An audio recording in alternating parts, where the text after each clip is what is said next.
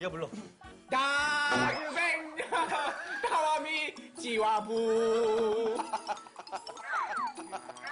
그 라이온 킹이라는 OST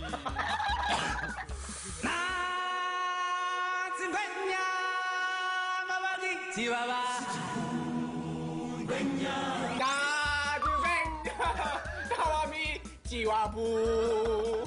아니 엄마가 전화라 그래서 무슨 정 얘기해 안다다시 인어공주 OST 야 무슨 OST가? 한 번도 들어본 적 없는 바보처럼 살아왔던 난내 눈앞에 춤췄었던 광대처럼 난 삐걱 삐걱 대는 소리에 나는 지끈지끈 머리가 아파. 사랑 따위 싫었는데